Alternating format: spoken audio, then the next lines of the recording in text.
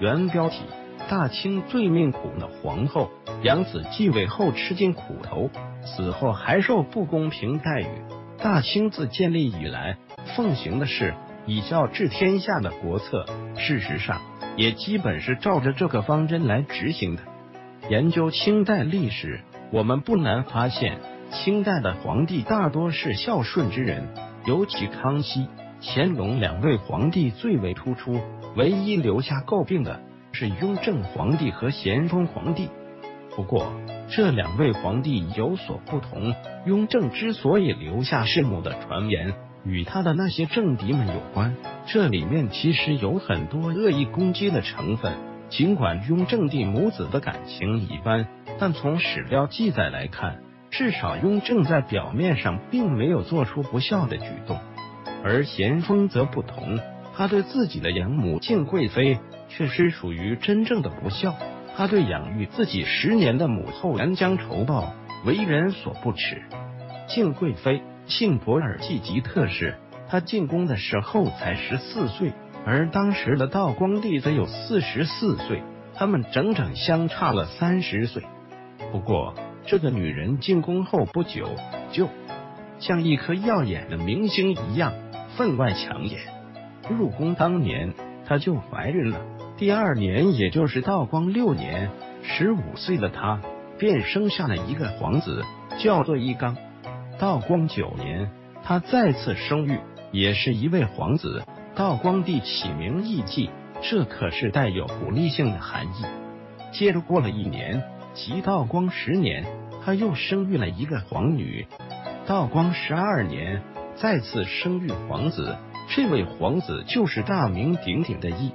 这个小女人刚刚二十一岁，就生育了三个皇子和一个皇女，在后宫当然就很抢眼了。频繁的生育换来的当然是待遇的提高。道光对这个小女人很满意，因而也没有亏待她。于是博尔济吉特是一路飙升，展开全文：十四岁为贵人，十五岁为晋嫔。十六岁晋升敬妃，二十二岁晋升为敬贵妃，二十九岁晋升为敬皇贵妃，主持后宫事务。从道光二十年开始，一直到道光三十年，道光帝去世，敬贵妃以皇贵妃的身份主持后宫，做了十年的后宫之主。道光二十年正月十一日。孝全皇后钮祜禄氏突然暴亡，据说是被皇太后赐死。他的儿子咸丰成为了单亲子女，道光帝便将他交给了敬贵妃抚养，并且一再叮嘱敬贵妃要视如己出，不分彼此，使他健康快乐的成长。自孝全皇后去世后，敬贵妃太得意了。从当时的情况来看，将来做皇后应该没问题。甚至于自己还极有可能做皇太后，因为自己所生的皇六子义不仅仪表堂堂，而且还很有才华，深受道光的喜爱，继承皇位应该是水到渠成。于是敬贵妃就等待着这一天的早早到来。然而事与愿违，道光帝弥留之际留下遗诏，让皇四子易主继承皇位，而义只能当亲王。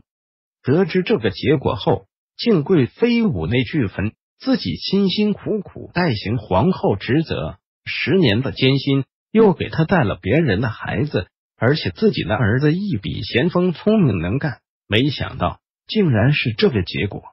敬贵妃担心的还不是这个，因为他知道咸丰并非亲儿子，看来后半生的日子要看别人脸色了。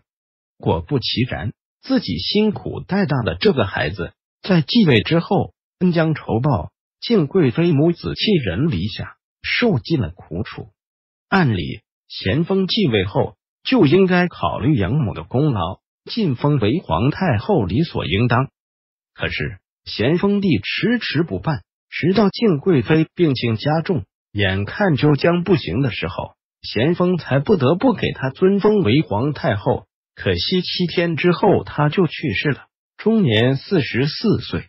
更可气的是，养母去世后，咸丰竟然在各个方面减杀太后丧仪式，比如只给了八个字的谥号，不给皇太后建陵，不亲自送太后子宫等等，这些行为都属违背祖制且大逆不道。敬贵妃辛苦养大的咸丰并不像道光帝看到的那样善良。十年的辛苦算是白忙活了。返回搜狐查看更多责任编辑